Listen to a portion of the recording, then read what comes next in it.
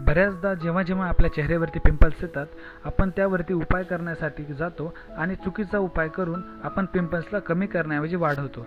त्यासाठी पहिलं आपण जाणून घेतलं पाहिजे आपल्या पिंपल्स आपल्या ज्या चेहऱ्यावरती पुळ्या येतात आहे त्याचं कारण नक्की काय आहे? त्यांचेही बरेच प्रकार असतात. ज्याप्रमाणे काहींचे नाकावरती ब्लॅक हेड्स असतात काहींच्या पुळीमध्ये पूज असलेला असतो काहींचे फक्त लाल लाल डाग असतात छोट्या प्रकारचे अशा वेगवेगळ्या प्रकारचे पुळ्यांचे प्रकार असतात. परंतु आपल्याला पहिले हे समजून घेतलं पाहिजे आपल्या प्र आपल्या ज्या पिंपल्स आहेत त्या कोणत्या प्रकारच्या आहेत? काही पुळे असतात ज्या जास्त खोलपर्यंत जातात आणि त्यामध्ये खूप जास्त प्रमाणात पू असतो आणि त्या पेनफुलही असतात.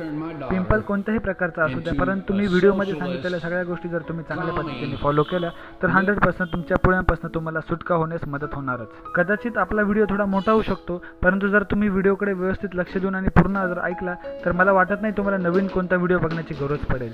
व्हिडिओमध्ये आपण बघणार आहोत की तुमच्या चेहऱ्यावरती जे पिंपल्स येत आहेत त्याचे कारणं काय आहेत त्यापासून सुटका कशी करायची कोणती गोष्ट खाल्ली पाहिजे कोणती गोष्ट नाही खाल्ली गेली पाहिजे चेहऱ्यावरती कोणती क्रीम लावली पाहिजे कोणता फेसवॉश वापरलं पाहिजे यापासून सर्व डिटेल माहिती आपण या व्हिडिओमध्ये देणार आहोत.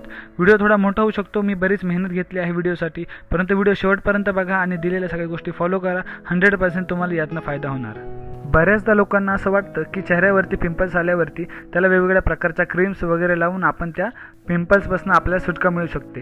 परंतु असं नसतं.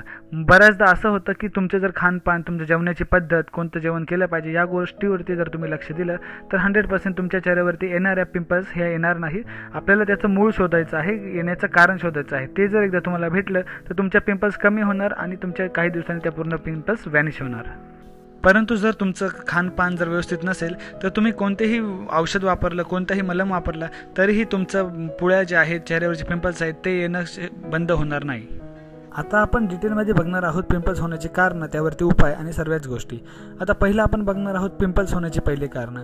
चेहऱ्यावरती पिंपल्स येण्याचं महत्त्वपूर्ण कारण असतं की तरुणपणामध्ये शरीरातली जे हार्मोनियमचे चेंज होत असतात त्यामुळे पिंपल्स येण्याची कारणं असतात. बऱ्याचदा असं होतं की आपण काय खातो पितो त्यानुसार आपल्या चेहऱ्यावरती त्याचं रिफ्लेक्शन उठत असतं. जर आपण खाण्यापिण्यामध्ये योग्य बदल केला तर तुमच्या चेहऱ्यावरचे पिंपल्स बऱ्याच प्रमाणात कमी होऊ शकतात. काही खाण्यामध्ये अशा गोष्टी असतात जे आपल्या चेहऱ्यावरचे पिंपल्स वाढवण्याचं काम करतात आणि काही खानपान असं असतं की जे आपले पिंपल्सच्या बॅक्टेरिया तयार होण्यापासून त्यांना थांबवतं. तर आपल्याला आता बघणार आहोत की कोणकोणत्या गोष्टी खाल्ल्या पाहिजे आणि कोणत्या नाही. आता आपण बघणार आहोत कोणत्या गोष्टी आपण खाल्ल्या नाही पाहिजे जेणेकरून आपल्या चेहऱ्यावरती पिंपल्स येण्याचं प्रमाण वाढू शकतं. त्यात पहिली गोष्ट आहे केक नंतर आईस्क्रीम त्यानंतर चॉकलेट त्यानंतर मिठाई आणि कोल्ड्रिंक हे सर्व गोष्टीपासून तुम्हाला दूर राहायचं आहे त्याचप्रमाणे ज्या गोष्टी साखरेपासून बनतात त्या गोष्टीपासून आपल्याला लांब राहायचं आहे त्याचप्रमाणे नंबर दोन आणि खूप महत्त्वाचा असलेला पदार्थ म्हणजे दूध आणि दुधापासून बनणारे पदार्थ. फॉर एक्झाम्पल तूप पनीर त्याचप्रमाणे मिठाई अशा दुधापासून बनणाऱ्या सर्व गोष्टी आपल्याला पूर्णपणे हंड्रेड पर्सेंट अवॉइड करायच्या आहेत. त्यानंतर काही तळलेल्या गोष्टी ज्याचप्रमाणे चिप्स ब्रेड समोसे अशा पद्धतीचे तळलेल्या गोष्टी पण आपल्याला अवॉइड करायच्या आहेत. आता तुम्हाला प्रश्न पडला असेल ह्या गोष्टी का नाही खायच्या आहे कारण जंक्स फूड त्याचप्रमाणे दुधापासून बनणारे पदार्थ जे असतात ते आपल्या शरीरामधील इन्सुलिनचं प्रमाण वाढवून टाकतात. त्याचप्रमाणे हे आपल्या पाचनशक्तीवरती पण खूप असर टाकतं. त्यामुळे आपण ह्या सर्व गोष्टींपासून दूरच राहिलेलं अतिशय योग्य असेल. आता आणखीन एक गोष्ट आपण बघणार आहोत. पाणी पिण्याचं किती योग्य प्रमाण असेल तर तुमच्या पिंपल्सला किती प्रमाणात मदत होऊ शकते? पिंपल्ससाठी पाणी हे एक वरदानही ठरलं जातं. पाण्याचं प्रमाण जर तुमच्या शरीरात कमी असेल तर डिहायड्रेशन होऊन तुम्हाला पचनशक्तीवरती पण लोड येऊ शकतो. त्याचप्रमाणे तुमच्या चेहऱ्यावरती पिंपल्स येण्याचं प्रमाण होऊ शकतं.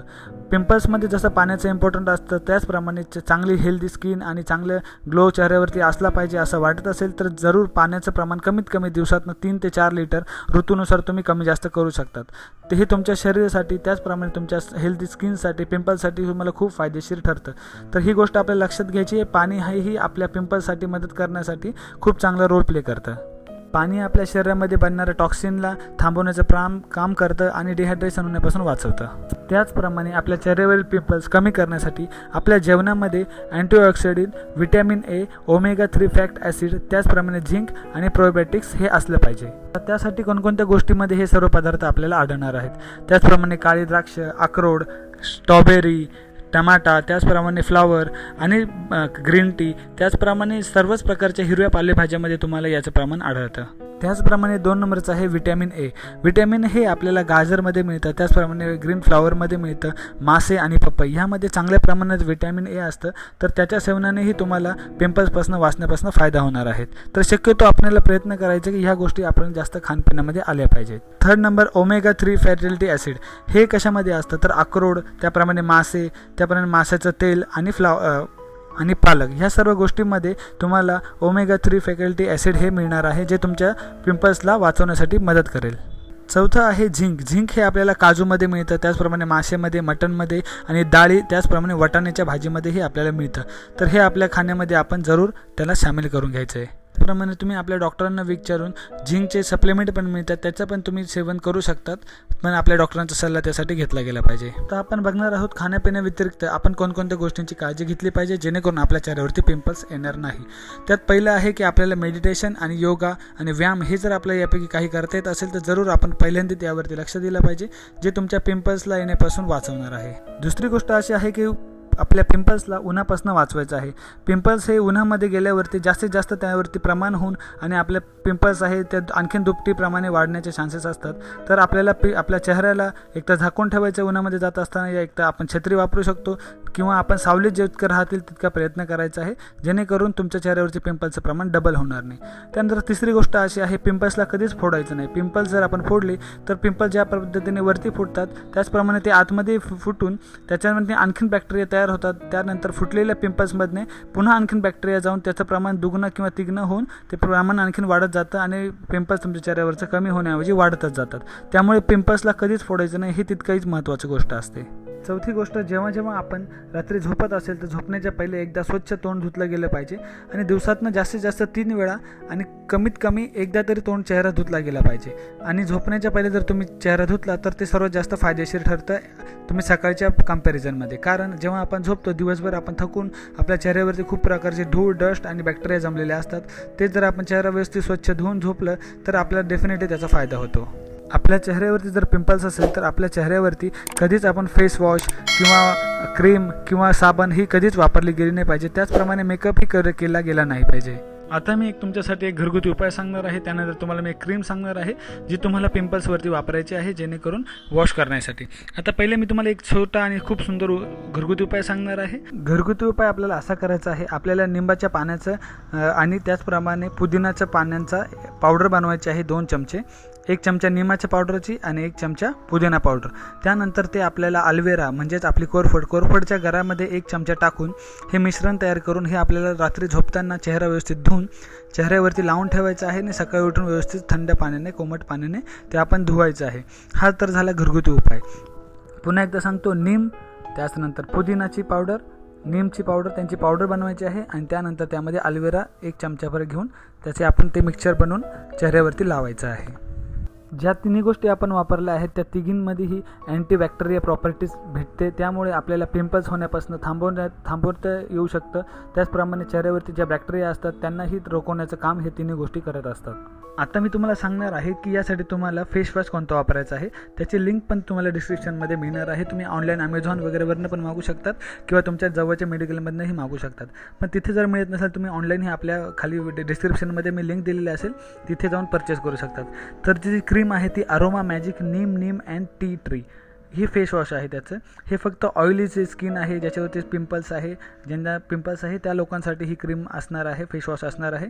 तर हे वापरून तुम्ही तुमच्या पिंपल्सला घालू शकतात. कारण ह्यामध्ये हे जे बनवले आहे फेस वॉश ते नीम आणि टी ट्री ऑइल याच्या दोघांच्या मदतीने बनवले आहे. जे की तुमच्या शरीरावरती चेहऱ्यावरती जो बॅक्टेरिया आहे त्यांना थांबवण्याचं काम आणि तुमच्या पिंपल्स कमी करण्यासही मदत करणार आहे. तर तुम्हाला फेस वॉश वापरायचं असेल तर जरूर हे वापरा. त्याचप्रमाणे आणखीन काही तुम्हाला अडचण असेल तर तुम्ही कृपया मला कमेंट बॉक्समध्ये कमेंट करून विचारू शकतात. आणि माहिती आवडली असेल तर जरूर चॅनलला सबस्क्राईब करा. मी या व्हिडिओ बनवण्यासाठी खूप सारी मेहनत खूप सारी इन्फॉर्मेशन खूप सारे डॉक्टरांचे सल्ले घेतलेले आहेत. तर तुम्ही जरूर हे करण्याआधी आपल्याला पाहिजे तर आपल्या डॉक्टरचा सल्लाही घेऊ शकतात. आणि आपले स्किन आपल्या पिंपल्स कशा पद्धतीचे आहे आपल्या खानपानामध्ये आपण हे काय चेंज केलं पाहिजे ह्या पद्धतीची मी सगळीच बेसिक माहिती तुम्हाला या व्हिडिओमध्ये सांगितलेली आहे. जर तुम्ही प्रयत्न केला आणि त्याच पद्धतीचे खानपान ठेवलं तर शंभर टक्के तुम्हाला तुम्हाला यातनं फायदा होणार. आपण बघतो की आपण प्रॉब्लेम झाल्यावरती त्याच्यावरती काम करण्यापेक्षा प्रॉब्लेम का होतो याचं जर आपण रूट कॉस्ट जर आपण समजून घेतला आणि त्यावरती आपण काम केलं तर डेफिनेटली तुमच्या चेहऱ्यावरती येणारे पिंपल्स हे कमी होणार आहे. कमी झाल्यानंतर ते ऑटोमॅटिक काही दिवसांनी संपून जाणार आहे. त्यासाठी सर्वात जास्त महत्त्वाची गोष्ट ही असते की आपलं खानपान यावरती आपलं जास्तीत जास्त लक्ष द्यायचं आहे. आपण काय खातो काय पितो त्याचवरनं आपल्या शरीरावरती बॉडीवरती रॅशेस येणं किंवा बाकीच्या गोष्टी आपल्याला चेहरा आपल्याला पहिले दाखवत असतो. तर त्यामुळे आपल्याला आपल्या खानपानामध्ये ओव्हरऑल आपलं जास्त लक्ष द्यायचं आहे कोणकोणत्या गोष्टी खाल्ल्या पिल्या पाहिजे कोणकोणत्या नाही. आणि शरीरातले जे हार्मोन्स चेंज होतात त्यापासून होणाऱ्या ज्या गोष्टी आहेत त्याला आपल्याला काही उपाय नाही त्यासाठी आपल्याला खाण्यापिण्यासाठी कोणत्या गोष्टी करायच्या आहे त्याही आपण या व्हिडिओमध्ये ऑलरेडी बघितलेल्या आहेत.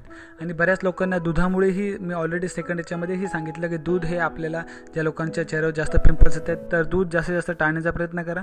दूध प्यायल्यानंतरही त्यांना आणि दुधाचे पदार्थ खाल्ल्यानंतरही त्यांना पिंपल्स येण्याचे जास्त प्रमाण वाढू शकतं. तर त्यालाही काही दिवस अवॉइड करा. तुम्ही हा उपाय मी सांगितलेल्या सर्व गोष्टी ॲटलिस्ट चार ते पाच महिन्यापर्यंत अप्लाय करून बघा. तुम्हाला रिझल्ट हंड्रेड पर्सेंट येईल आणि तुम्ही शंभर टक्के चॅनलला कमेंट करून मला त्याबद्दल धन्यवाद देणार. त्याबद्दल मी सगळ्यांचं आभारी मानतो आणि चॅनल जर आवडला असेल तुम्हाला वाटत असेल सगळे इन्फॉर्मेशन खूप महत्त्वाची आहे तर तुम्ही चॅनलला सबस्क्राईबही करू शकतात. भेटूया पुढच्या व्हिडिओमध्ये जय Hind Vande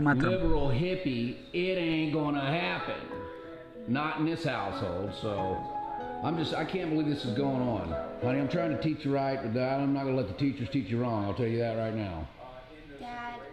Gosh, you need to calm down. You're making me so